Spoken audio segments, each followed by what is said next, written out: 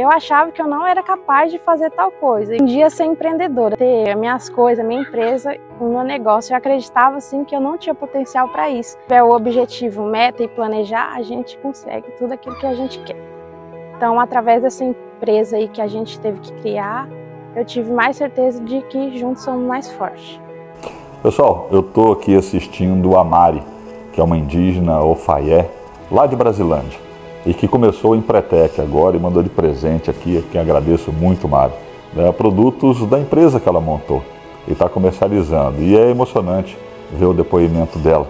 E quero aqui nessa semana dos povos indígenas né, exaltar a necessidade da gente estar cada vez mais presente das comunidades indígenas em ações como essa, que é inédito no Brasil curso de empreendedorismo, formação, transformação das pessoas por acreditarem em si, que é o que a Mari fala. Achava que não era capaz e de repente criou sua empresa, está produzindo, está comercializando, está sendo independente. E é isso que a gente quer para todos do Mato Grosso do Sul. Quando a gente fala de crescimento, prosperidade, sem deixar ninguém para trás, é um pouco disso.